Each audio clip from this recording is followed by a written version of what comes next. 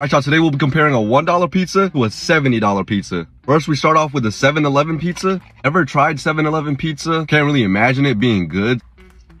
Uh, uh-uh.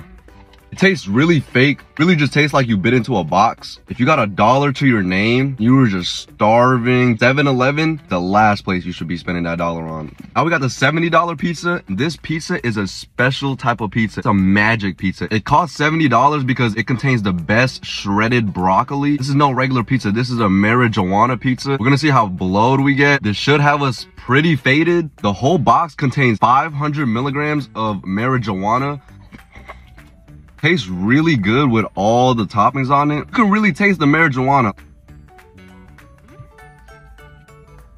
The Pink Panties Pizza and Marijuana Pizza did take the win on this one. I like the Magic Pizza. I approve. I would try it again.